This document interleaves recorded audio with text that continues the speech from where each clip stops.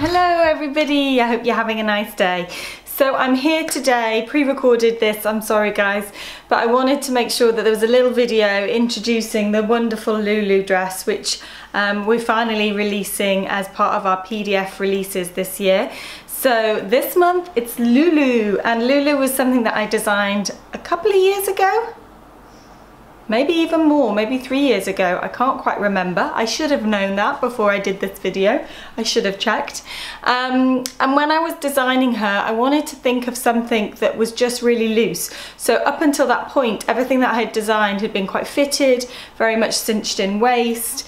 And I felt like we needed something that was just a kind of pull-on dress just great day dress that you can just whack on and um, yeah it's just super comfy and still looks really cute so that is what the Lulu's about. And here she's made out of some Atelier Brunette fabric, which I think they've discontinued, which is very upsetting. Um, I'm not sure, but I think they have. Um, but anyway, it works beautifully in all of the Atelier Brunette fabrics and all cottons really, as long as it's not too stiff. So lightweight cottons are really great for the Lulu.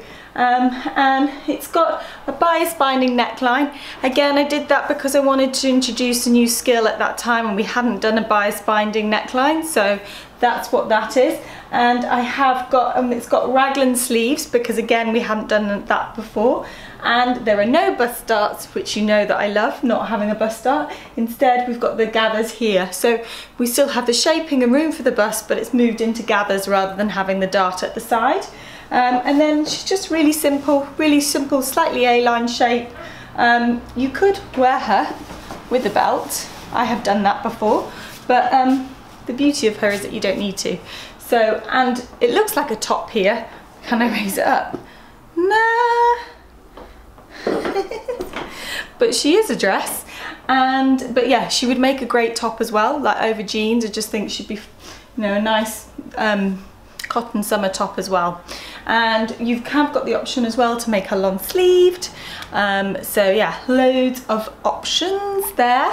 Um, so yeah long sleeve top or as a dress or short sleeved yeah um, and yeah, like I said, you can make her out of cotton, but you could also try her in a crepe or a rayon. She'd look quite different. She would look sort of, um, if you made her out of a rayon, then she would be less, um, slightly less A-lined, a bit more straight and soft, but it could work. Just be careful with the bias binding neckline because that's going to be a tricky one in rayon.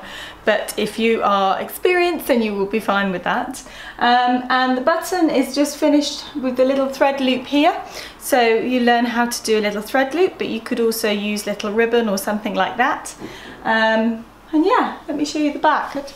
I forget to show you guys the back of things. There's not much to see, but there you go. Anyway, I'm planning on making one definitely this summer.